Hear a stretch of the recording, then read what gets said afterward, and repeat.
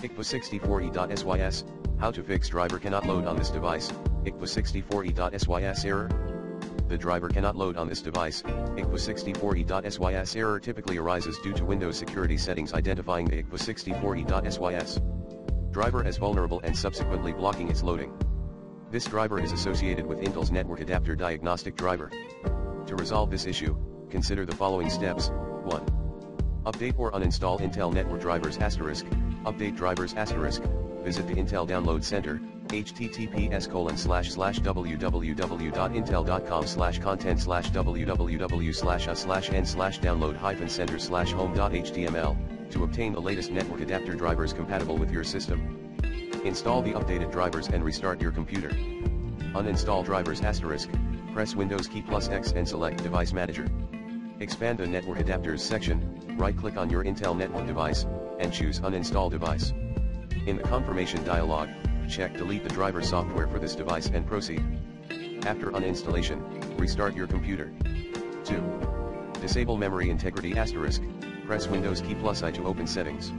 Navigate to Privacy and Security Windows Security Device Security. Click on Core Isolation Details. Toggle off memory integrity. Restart your computer to apply the changes. Asterisk note, disabling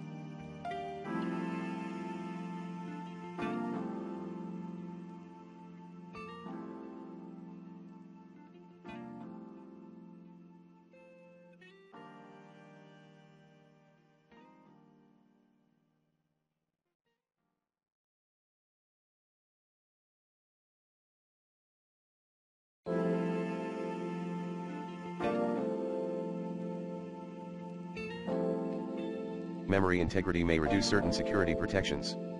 Ensure you understand the implications before proceeding asterisk. 3. Remove residual driver files asterisk, press Windows key plus R, type CMD, and press enter to open command prompt. Execute the following command to locate the driver file, dir slash s slash p 64e.sys. If found, navigate to its directory and delete the 64e.sys file. 4. Check for software conflicts asterisk, some users have reported that outdated versions of Dell Support Assist can cause this issue.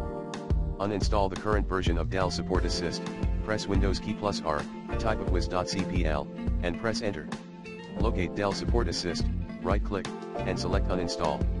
Download and install the latest version from the Dell Support Assist page, https colon slash slash www www.dell.com slash support slash content slash n hyphen a slash category slash product hyphen support slash self hyphen support hyphen knowledge base slash software hyphen n hyphen download slash support assist. 5. Consult Intel support asterisk, if the issue persists, reach out to Intel support, https colon slash slash www.intel.com slash content slash www slash a slash n slash support.html, for further assistance. By following these steps, you should be able to resolve the driver cannot load on this device, IQVW64E.sys error and restore your system's functionality.